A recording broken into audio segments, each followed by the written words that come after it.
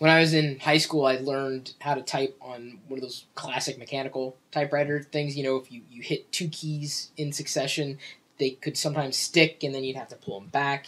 Uh, and then I moved on. Sorry, I'm not going to let you talk yet. I moved on to an electric typewriter, which had a backspace key, and I could use it. But sometimes I would type so quickly that I would release my hands from the keyboard, and the keys would still be chicka chicka chicka chicka. Uh, that was chicka chicka chicka chicka. So now, you know, I'm typing on an electronic keyboard. This is one of my favorite uh, ones that I'm using. A lot of people say that the Apple wireless keyboard, in terms of a, at least a QWERTY layout, works well. But there are different types of layouts for keyboards. Uh, QWERTY, uh, Dvorak, and Maltron. So wasn't that the name of the woman from that Seinfeld episode, Mol, Mol, Maltron? I have no clue. I never watched. It was. Mulva. Oh, anyway. Mulva. Okay. So we've got these three keyboard layouts.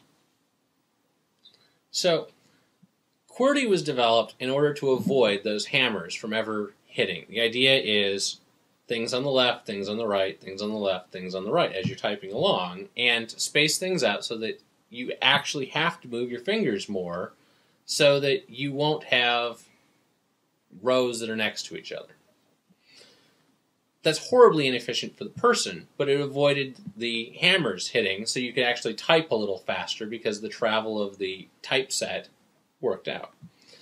So once that problem was solved by electric typewriters, a guy named the name of Dvorak invented a Not John C. Yeah, invented a layout that was more optimized. So, what are the letters that they give you on Wheel of Fortune? Like the, the freebies at the Mhm. end of the show. R, S, T, L, N, and E. Right. And they give you those because those are the most common letters in the English language. So, which ones of those are on your home row? ASDF. Wait, none. Wait, L. Hang on. I, if, Yes. I have to J- look. j- j- L. so, not very many of them. Could- But those I had to type through. Mentally, I was typing through the whole alphabet for a second. Anyway, go ahead. So that's not very efficient because it means that for most words you're going to have to leave the home row. So on the Dvorak keyboard, more of the vowels are on the home row because in every sentence and every word you're going to use at least a vowel. Right. And so the Dvorak is about 30% more efficient than the QWERTY keyboard in terms of typing. Some people love it.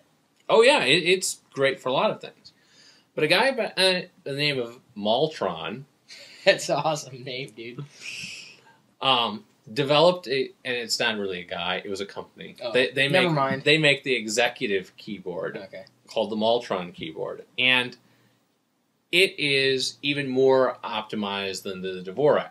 And I can't type on it because it has the E where the space bar is, so that you're always pushing with Oh with your one thumb, and and that would totally weird me out. But if you think about it, one thumb being the space and one thumb being the E, those are the two most common characters, and you're putting them on your two fastest typers, and also the ones that can't ever go anywhere. You know, it's not like you ever reach up with your right. your thumb.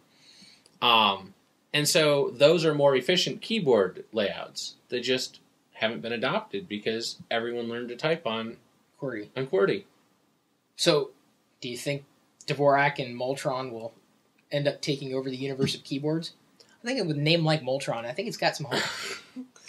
I don't think that they're going to take over, mainly because we're so used to using those. And if you had to bounce between keyboards, I love my ergonomic keyboard. I've got one of those split Microsoft ones. But then when I jump over to my laptop, I can't hardly type. Yeah.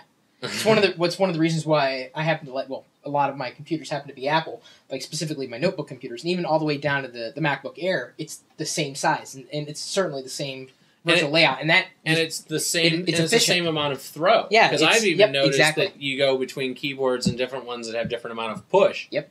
Changes my speed drastically. huge and that's been great for me because I, I have like muscle memory that i can do it here and it's easy to translate on any one of uh, apple's products But like the U.S. versus the metric standard, metric is far superior in Oh, yeah. every way. But No we're doubt. never going to convince America to switch to the metric you don't think so system.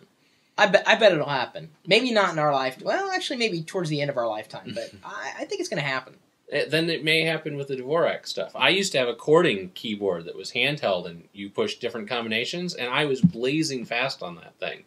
But when it broke, I had no way to, to Right. replace it. So it just didn't take off Yeah. well what's really difficult is when they print the keys like on the key i mean they print the designation for the key on the key that would be it would be easier if you could buy like a, a Dvorak keyboard, they just cost too much, I guess. I mean, like a keyboard that you wanted specifically without having to remap.